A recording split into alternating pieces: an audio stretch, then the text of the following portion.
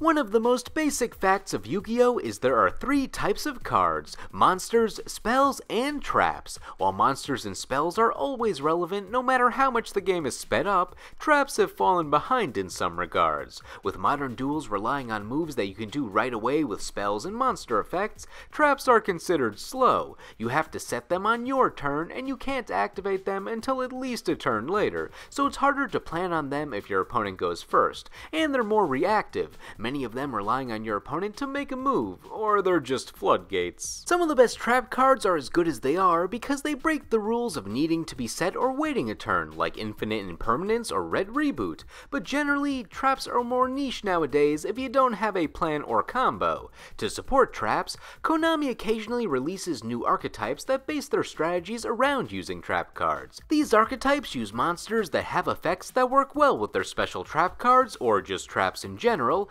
whether they can swarm the field with traps, get bonus effects when traps are activated, or let the traps do the heavy lifting and activate their effects to summon the big bosses of the decks. While these decks can still use spells, traps are their main gimmick, and since I like using these decks, let's look at my favorites, partially based on how good they are, but also based on how much I like them. These also don't have to be full-on archetypes, they can just be a group of similar monsters or cards that function like an archetype. I also want to highlight their aesthetics, with trap cards literally being traps that you set in the game for your opponent to fall into, I want to discuss how these archetypes look like the devious characters who would strategize around sneaky traps. And since we're looking at aesthetics, I'll be joined by my co-host who just watches Yu-Gi-Oh! Judgment Meter. Um, if someone wants to tell me how to play Yu-Gi-Oh! in the comments, good luck with that. Now, let's reveal the top 10 Yu-Gi-Oh! archetypes based around traps. Number 10, Amazement. Amazement is the story about a guy who wants to make the best amusement park in the world, and all the rides and attractions are trap cards. So come and enter this carnival of dreams and or nightmares. Each trap is called an Amaze attraction and showcases the events at this park, with the main gimmick being that you can equip the traps to either an amazement monster that you control or one of your opponent's monsters for differing effects. Expectedly, if you choose your own, you get a positive effect, but if you equip it to your opponent, they get a negative effect. You got attractions like the Cyclo Coaster, which lets your monster pop a back row once per turn if equipped to you, or let you search a monster if equipped on your opponent. There's also the Horror House, which lets you negate an opponent's monster effect once per turn, or flips them face down. If that's too scary for you, try out the Merry-Go-Round, which either boosts your attack by 500 and gives you a hit of destruction prevention, or lowers your opponent's monster's attack by 500 per trap equipped to them. Rapid Races let you shuffle a monster back into the deck, or change your opponent's monster's level and battle position. And feel free to check out Wonder Wheel, which lets you exchange a card in your hand for a draw 1, or swaps your opponent's attack and defense for a turn. Then you can clean it up with Family Faces, which only equips your opponent's monster to take control of them. To set up your rides, you have your monsters. The assistant and the attendant have effects that let them set attraction traps from the deck, Bufo the mascot lets you recover traps from the graveyard and moves traps equipped to other monsters, and the ringleader Arlekino does a lot. He can banish attraction traps to destroy monsters, and when any trap is activated, not just attractions, he can special summon himself from the hand. After he's summoned, he can equip attraction traps directly from the deck to the opponent's monsters when they're summoned. He also has an evil version called Amazement Abomination Arlekino, who special summons himself when another amazement monster is on the field, and he can swap himself for a normal Arlekino from the deck. And this opens up the question, what's this guy's deal? Is this a Jekyll and Hyde scenario where they're both the same Arlekino? Is this a prop from the haunted house? Is he a twin or rival carnival leader? I'm not sure how trustworthy Arlekino is in general, since the so-called evil version is actually a light monster and the original is dark, so could he be up to trouble behind the scenes? I was always kinda dubious of these rides because they're traps, as if they're trapping the opponent to ride on them against their will, since they're always experiencing an effect that works against them when equipped. Think of the ride just appearing out of nowhere and then it ties up the opponent to force them to have fun. Or maybe he's just overzealous to show the opponent his new ride and it harms them by accident since he's having a blast on these cards. How could you not have fun looking at his face? He looks like he, he would have a good time, but he would make everyone else have a good time too. I also like how he inflated the Kirby's. Kuribohs. Kuribohs. They look similar though, and the fir- first the one in the front is pink. I wouldn't go near those balloons. I don't trust that they're not a trap too. Yeah, you can have the balloon and just just fly. Uh-oh. Oh, it's a bear with a balloon. Oh, and he has a little vest. Oh, what a chipper bear. The final note is these rides are all based on other monsters and archetypes. Some picks are obvious, like Ghost Trick for the Haunted House, Plunder for the Viking Ship, or FA for the go-karts, but then you have some random picks, like Metal Dragon for the train, Nephthys for the roller coaster, and the Ojamas for the Ferris wheel. And what's that? Is that one of the creatures from Ojama Country? I thought they all died. Oh, there's extra lore here I'm not ready for. Number 9, the Apophis and Tiki Trap Monsters. This isn't so much of an archetype as it is a group of cards that have something in common with effects that support that thing in common. These are continuous traps, and sometimes normal traps, that start as traps, but when flipped, their effects let them turn into a monster card that still counts as a trap when in the monster zone. Some trap monsters are part of an archetype, like the Shaddoll or Monarch ones, and those ones usually just support their respective archetypes. But for the trap monsters that just exist outside of a major archetype, they usually get an effect that supports monsters that are also traps. The two non-archetype trap monsters that come to mind first are the Apophis and Tiki traps. There's just two of each of them, but they set the stage for trap monsters in the future. Embodiment of Apophis was the first trap monster and was an ace monster of Odion in the anime, so it had some name recognition to its reputation. However, since it was the first, its gimmick was just that it was a trap and monster and that's it, so they didn't give it any other effects. It was just a reptile with middling stats when on the field, and it could only be activated during the main phase, which takes away from its stealth not being able to be activated during the battle phase. But I guess they were afraid of making this type of monster too strong with nothing like it before. It got retrained many years later into Apophis, the swamp deity, and now with the knowledge that trap monsters exist, it gains an effect. It still can only be activated during the main phase and only has slightly bigger stats than the original, but now after it becomes a monster, it's able to negate your opponent's monster effects, one negate per continuous trap on the field, which would include all those other trap monsters that you would play with this card. So this effect is still kinda bad. Like you already have to have the field swarmed with trap monsters to pull off the effect, or have continuous traps up that probably do its job better, like Gozen In match or Rivalry of Warlords or Skill Drain. Plus, Deity's effect only lasts until the end of the turn, which makes it even worse, so just play Skill Drain. The Tikis fared much better as trap monsters, with Tiki Curse and Soul. Nothing groundbreaking, but I like that they protect your trap monsters. Curse acts as a revenge monster, where if another trap monster you have battles, it destroys the opponent's monster regardless.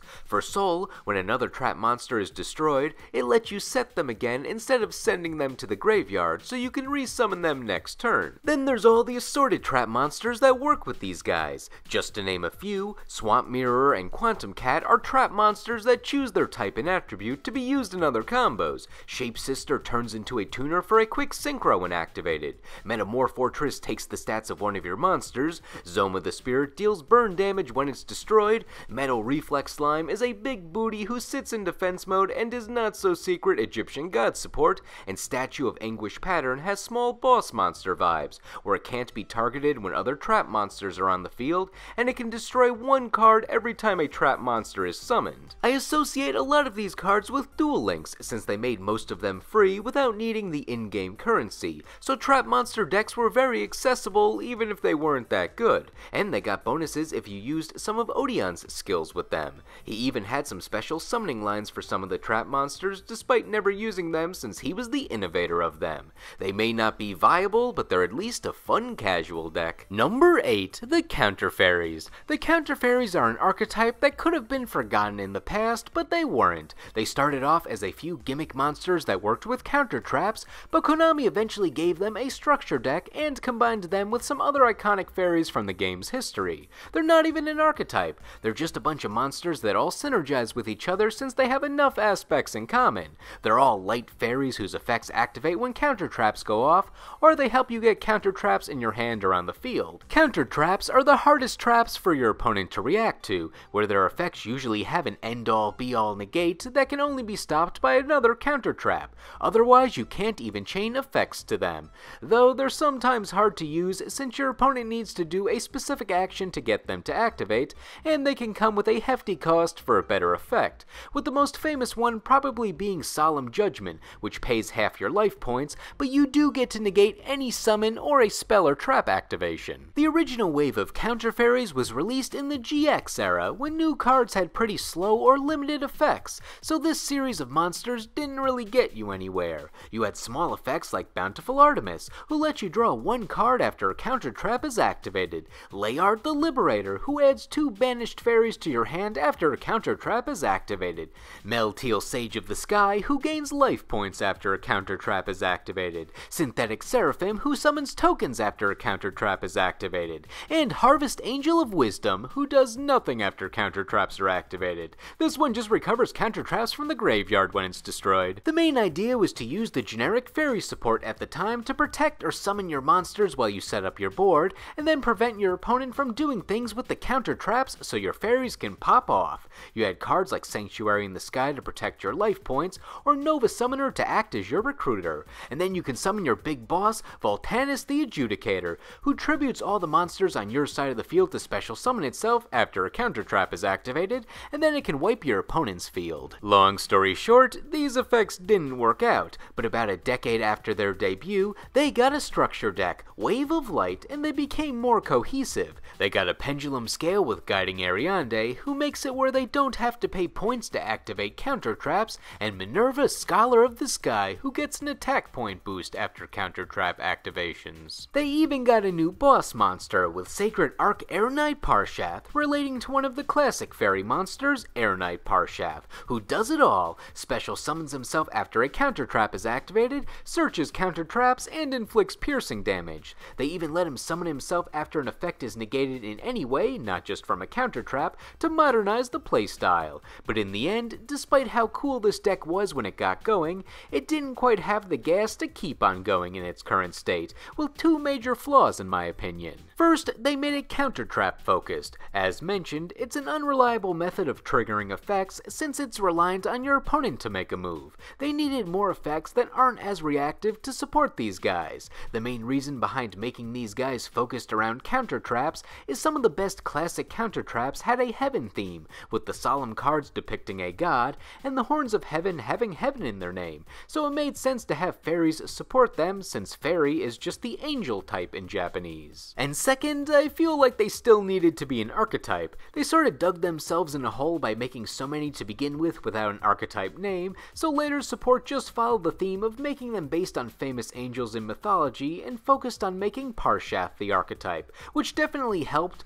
but I feel like the agents ultimately turned out to be better fairy monsters to play with that support. Still, there's fun in noticing all the Greek and Roman mythology references in them. That's pretty. It kind of looks like that white pot from the Pot of Greed series. Well, she's not a pot, but I don't quite understand the design direction they sometimes went with. She's supposed to be Ariadne. I don't know how any of these relate to the goddesses that they stand for, but they're cool looking. Indeed, they are. Now, hopefully, they can get a good effect revamp someday. Number 7, the Paleozoics. Now, if you want a trap monster deck, this one's for you. Every main deck monster is a trap, but they have good effects when they're traps that don't turn them into monsters right away. Some of the highlights are Canadia acting as a Book of Moon and flipping a monster face down, Olenoides being a dust tornado and destroying a back row, Hallucigenia cutting a monster's stats in half, and Dinomischus being a Karma Cut that lets you banish one of your opponent's face-up cards, which is surprisingly stronger than Karma Cut since it targets spells and traps too,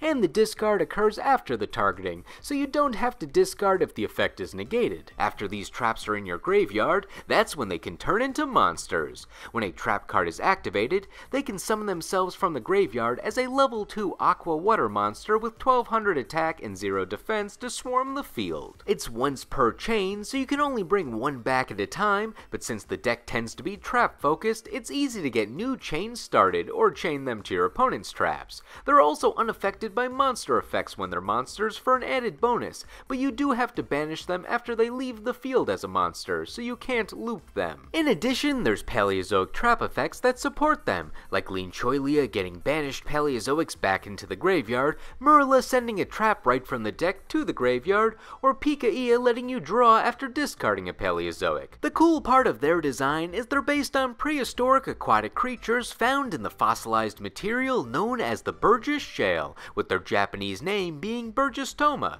Their English name instead references the historical era they're from, being the Paleozoic era.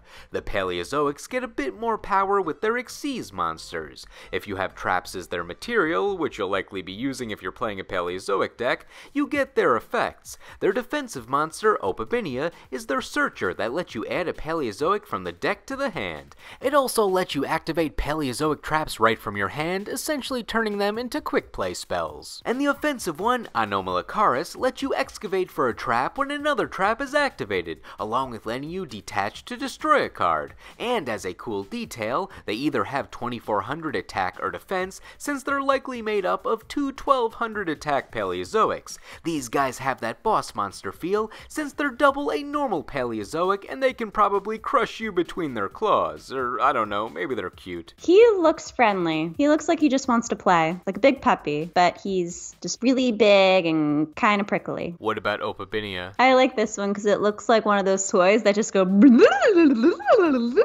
I don't know how you people take me seriously. Finally, their Link monster, Cambroraster, lets you send a set Paleozoic, or any trap for that matter, to the graveyard, and then you can set a Paleozoic directly from your deck and activate it that same turn. Overall, Paleozoics are a nice little engine, and being a bunch of level 2 water monsters, they fit in well with some of their other aquatic peers from other archetypes. Number 6. The Phantom Knights. The Phantom Knights are a pretty well supported archetype. They're the deck of Yuto from the Arc 5 anime, so they have the name relevancy that helps them keep on getting new cards.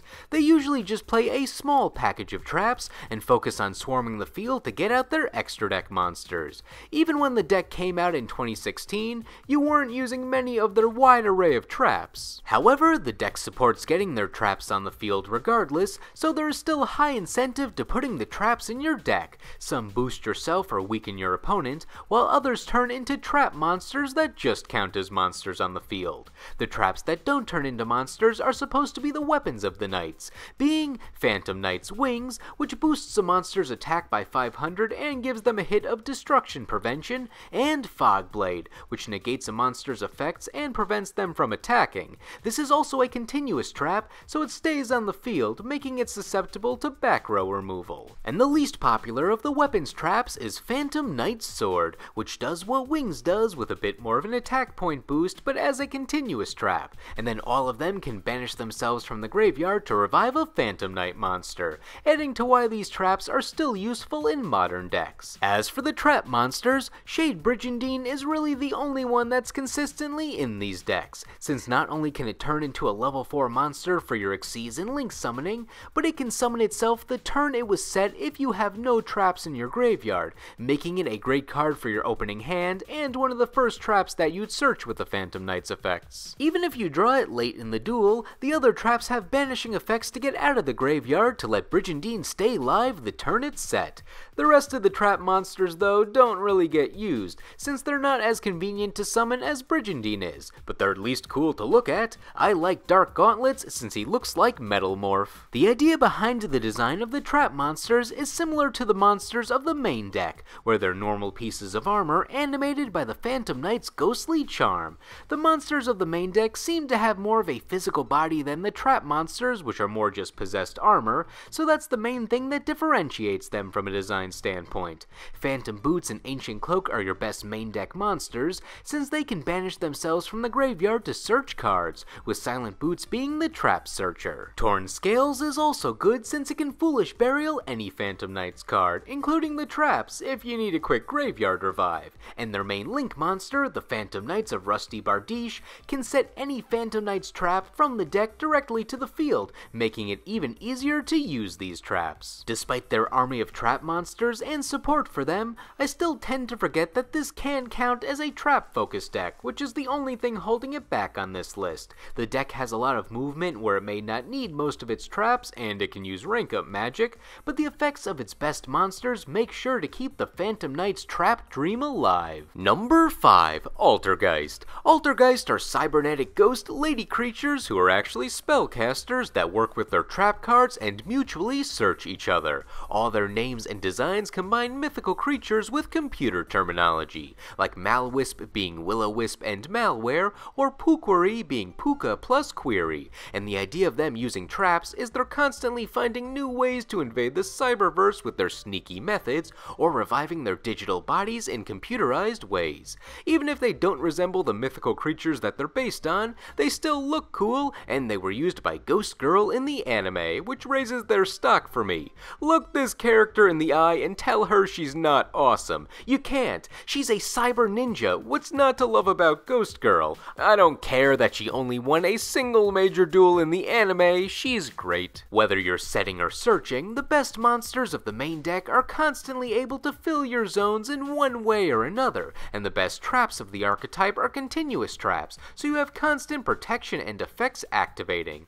Their main trap is personal spoofing, which lets you shuffle an Altergeist monster from your hand back into the deck to search for another Altergeist. A search every turn is pretty strong, which I guess is why they didn't put Altergeist in the trap name so you can't search it with the other Altergeist effects. The rest of the continuous traps offer protection. Protocol negates monster effects if you send a face-up Altergeist card to your graveyard, working with your other continuous traps. Haunted Rock negates opponent's traps. Fall Over keeps your resources going by replacing an Altergeist destroyed with a new one from your hand. And if you're afraid of the old Harpy's Feather Duster, Emulate Elf is a trap monster that protects your traps from being destroyed or targeted. And Protocol has the extra effect that prevents your Altergeist traps from being negated, so they're here to stay. The normal traps of the archetype tend to stick to the field too, since they equip your Altergeist monsters. Camouflage protects them from being targeted, and Manifestation is basically a Call of the Haunted and revives an Altergeist. Revitalization is the only one that doesn't stick to the field, being a graveyard revive without an equip plus a free summon. All these traps are great for control, but what about the monsters? Well, their effects just let them keep moving. Marionetter lets you set a trap when summoned to get your back row going, and can exchange one Altergeist on the field for one in the graveyard. Multifaker knows that traps rule this deck, and can special summon itself from the hand when any trap is activated, so it's not limited to just Altergeist traps, and can work with spoofing or whatever other traps you enjoy. Then when it's special summoned, you can special summon another Altergeist from the deck. Silquitous can bounce an Altergeist card that you control and one of your opponent's cards, and since most Altergeist have good effects when they're in the hand, this is a pretty nice trade-off. It can also recover traps after it's sent to the graveyard, which happens a lot with this being a Link summoning deck. Malwisp special summons itself when added to the hand, and can special summon monsters from the graveyard. Pookuery can be used as Link material from the hand, the Mermaid can attack direct, and then you got a bunch of other cards in the main deck. But with the deck being able to swarm the field with smaller monsters, it builds you up for the bosses of the deck, the Link monsters. Most of them just have good negation or pumping up effects that don't need traps, especially Hexstia, but their main trap recursion Link boss is Adminia, who lets you set a trap when it's summoned. That being said, if you get the Link monsters on the field, you likely have all your back row set up already, so they can just go to town without worries. Number 4, Eldlich. Eldlich could be considered a mixed deck, but considering all of its monsters are trap monsters, besides the boss and fusion that no one ever uses, I think the focus is more on traps than anything else. Your main goal is to get out Eldlich, the Golden Lord, who's just a big guy with big stats, but his traps protect him and give him ways to resummon himself. If he's in your hand, you can send him and a spell or trap from your hand to the graveyard, which then lets you send one of your opponent's cards to the graveyard. Then you can trigger his graveyard effect. When he's in the graveyard, you can send one of the spells or traps that you control to the graveyard to special summon him with a 1000 attack and defense point boost and effect destruction prevention until the end of your opponent's next turn. While some of his continuous spells could be used with these effects, there's a high likelihood you'll be using his trap monster monsters as cost. He has three trap monsters Conquistador, Guardian, and Huaquero. All three of these are just regular trap monsters when summoned on their own, but if Golden Lord is on the field, they get bonus effects. Conquistador pops a card, Guardian lowers a monster's attack to zero, and Huaquero banishes a card from either graveyard. These trap monsters all still count as traps, so they can be used with Lord's resummoning effect that needs a trap or spell on the field, and they're monsters, so they can be used as cost for the archetype's Omni Negate counter trap that needs a zombie monster. All the trap monsters also have the clause that you can banish them from the graveyard at the end of the turn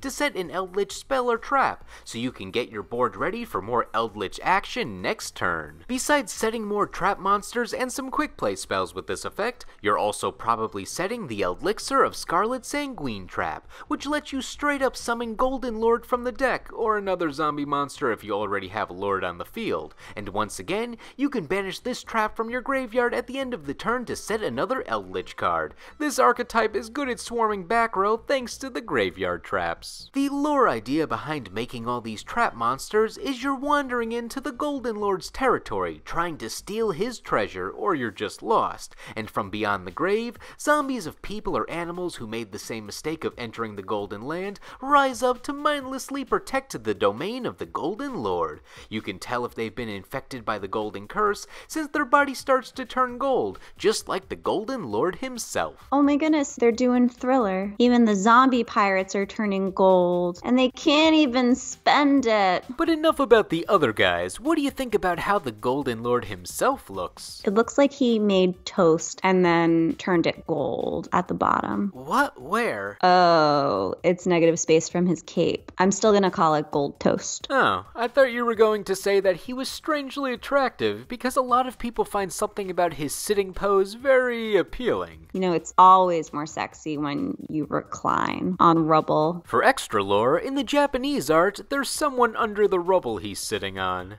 Oh my. What happened? I don't think he did it in a friendly way. How do you sit on someone in a friendly way? You have to use your words. Since Eldlich's effect synergizes with continuous traps and he doesn't really have an effect on the field, the deck works really well with floodgate traps like Skill Drain, or Gozen Match in Rivalry of Warlords since all of his monsters are light zombies, and you're not summoning much per turn usually, so you could even use Summon Limit. If the deck gets hate, it tends to be from the floodgates and not the archetype specific stuff. Golden Lord's not that hateable of a guy, especially with that alternate art. I don't know why they went so hard, but it's nice that they did. Number 3, Dinomorphia. Dinomorphia is one of my favorite archetypes, but it puts you in a big risk-reward scenario. Your two main deck monsters set up your traps, with Therizia being the main searcher that lets you set a Dinomorphia trap from the deck directly to the field, and Diplo sends a Dinomorphia card from the deck to the graveyard.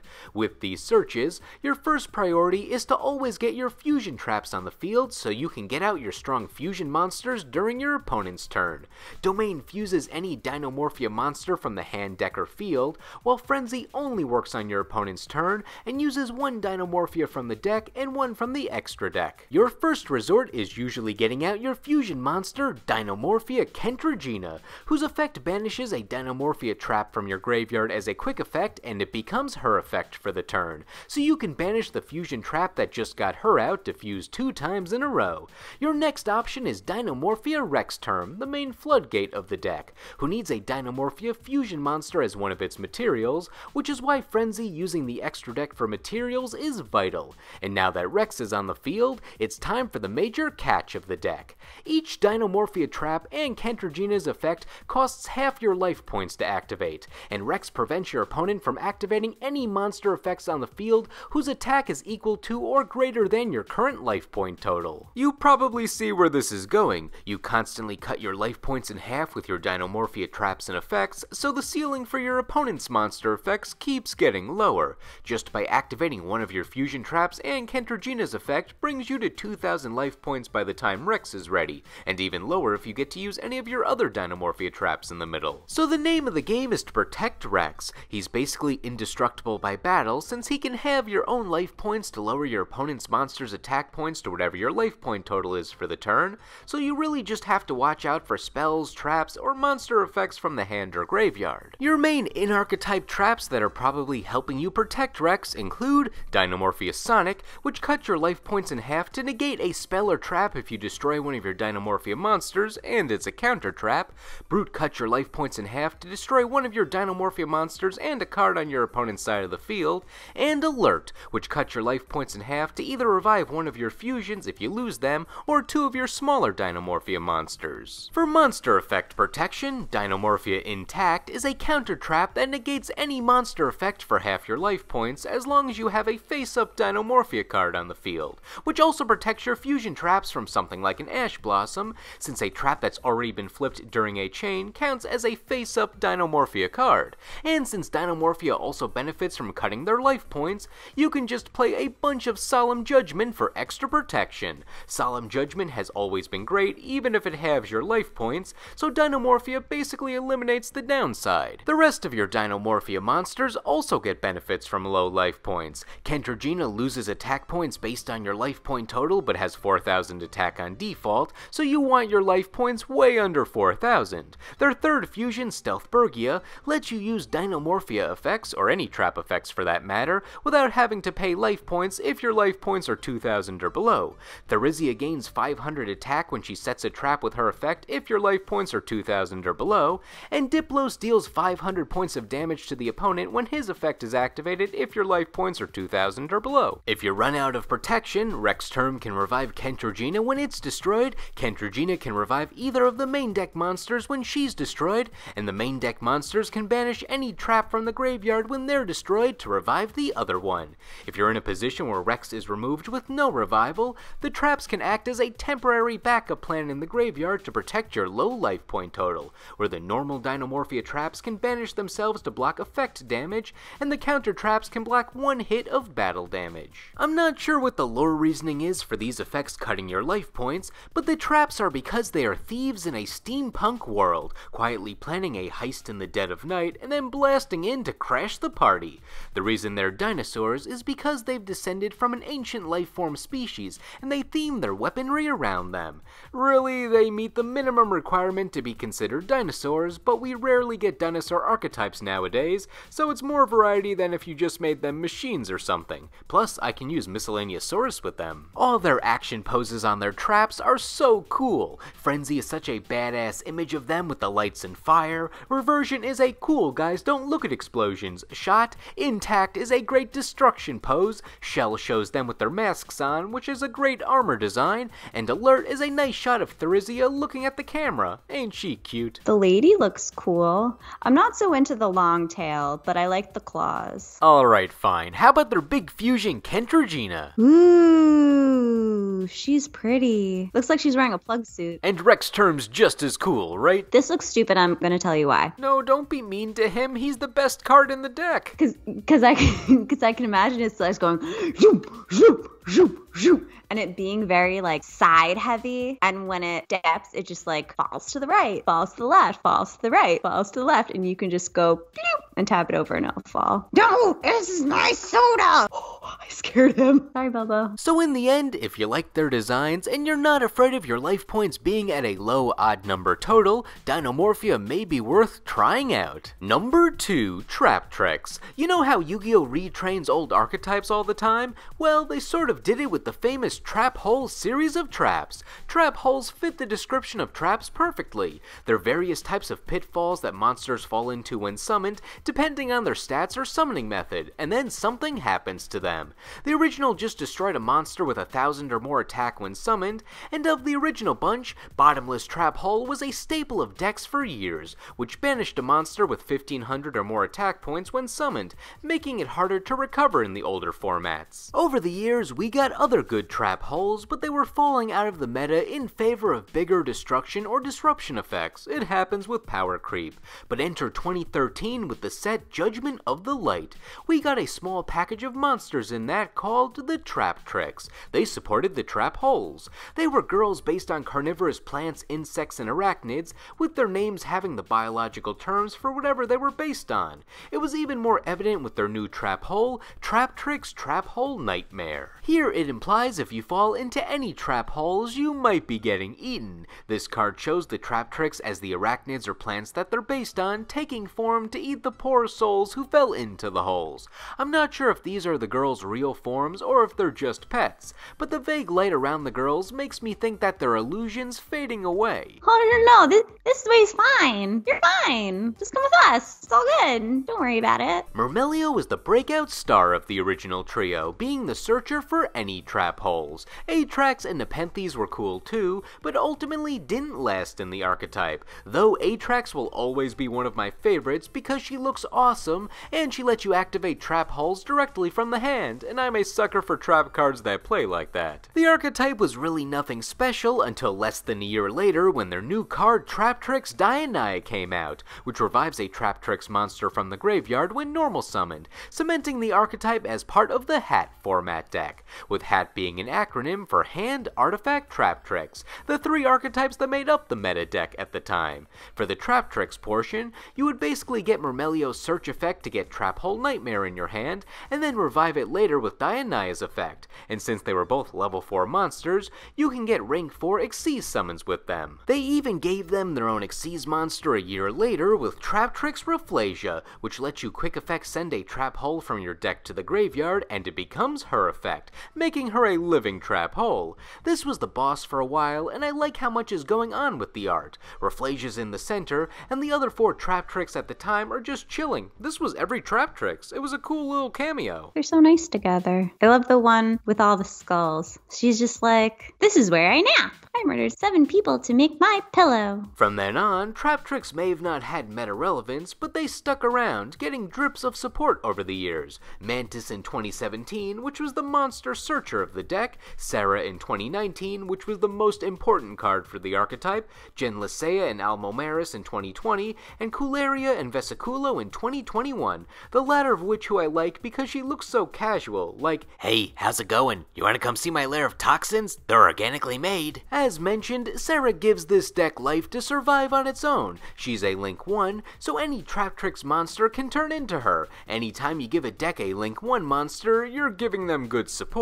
Besides being unaffected by traps, when a normal trap is activated by you or the opponent, she can special summon a Traptrix monster from the deck, and whenever a Traptrix effect is activated, she can set a trap hole from the deck. And the best Traptrix monsters have a second effect when special summoned, so there's a high likelihood you get both effects after a trap is activated. It gives you a nice resource line, and it made Sera the face of the deck. Unfortunately, you could only use each effect once per turn, but still, they were good. And shoutouts to Allomerus for continuing the legacy that Rafflesia started by featuring other Traptrix on her art. I feel like this is a photobomb moment where Sera's like, Hey Al, we're going to McDonald's, you want anything? Hey, what are you looking at? She's the nice one. She's cute. I mean, she may not be nice, but she's cute and she looks nice. Tell that to the flower she's crushing. She might not be crushing it. She could just be holding it. That's a pretty firm grasp. You like her headcanon? For a while, this seemed like their fate, a control deck with small monsters that gets a new card or two every other year. But in 2023,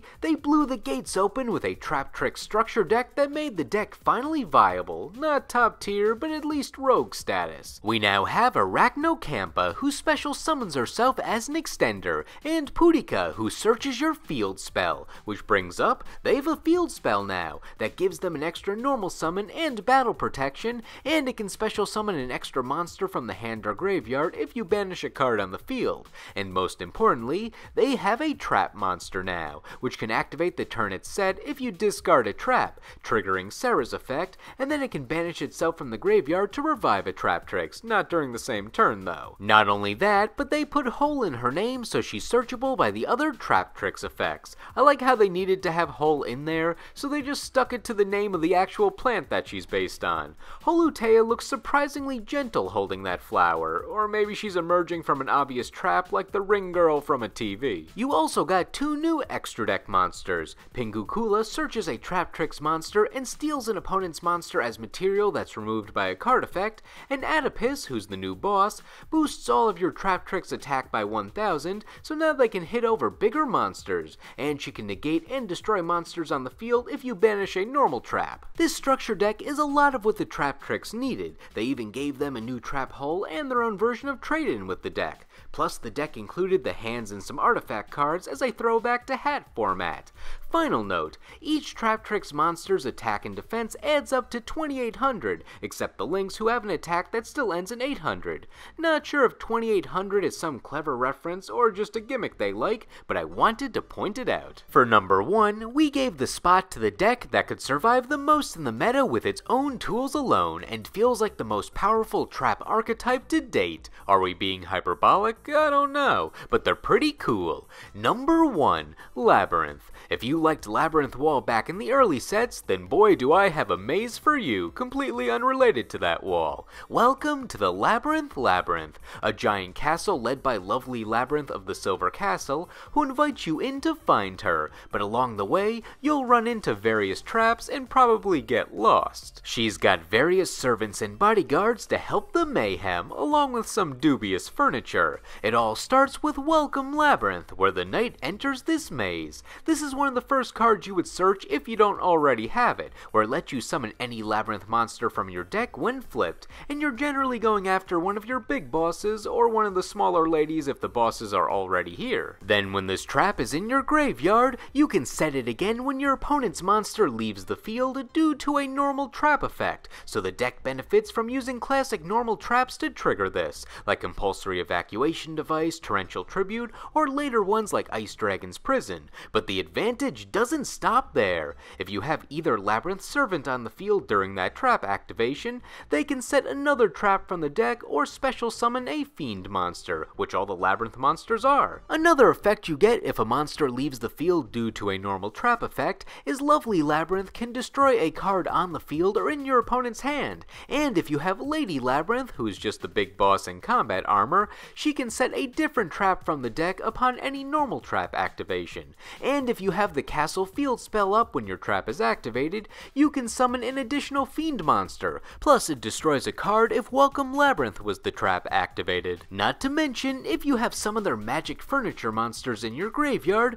they also trigger after a trap gets rid of your opponent's monster. Chandraglier goes back to the hand, and Stovie Torbie summons itself. That's a lot of advantage over a single trap activation. I'm tired now. But still, how do you get Welcome Labyrinth on the field to easily jumpstart all of these effects and get another trap to combo with it. Easy, with the monsters. Arianna the Labyrinth Servant searches any Labyrinth card, including the main archetype traps and the furniture monsters, and Ariane special summons a level 4 or lower Fiend monster, which could end up being Arianna, who then searches the trap. If you don't have them, then the furniture monsters can help. Both Chandraglier and Stovie Torbie let you send them and a card from your hand to the graveyard to set any Labyrinth spell or trap from your hand or deck, which then puts them in the graveyard so you can activate their other effects that I mentioned. And Cooclock can send itself and a card from the hand to the graveyard to let you activate a trap the turn it was set, so you can get the ball rolling and summon out your boss ladies even faster.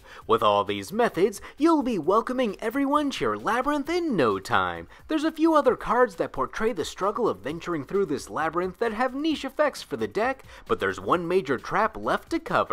Big Welcome Labyrinth. Oh, they really got creative with that name. Where we learn that there's a lot of labyrinth left to go. Like this is pure anime to be continued energy with this artwork. She's doing a full-on oh ho, ho, ho, laugh right there, and the effect matches up with the epicness of the art. This is the other labyrinth trap that you'll likely be searching, and it lets you special summon a labyrinth monster from the deck, and then bounce one of your monsters on the field back to the hand. So if you have monsters to bounce, you're generally summoning one of your big ladies and bouncing a smaller monster. But if you have an empty field, Lady Labyrinth is the best boss to get, since she would immediately have to be bounced due to the effect, and then you can just use her effect where she special summons herself from the hand after a normal trap is activated.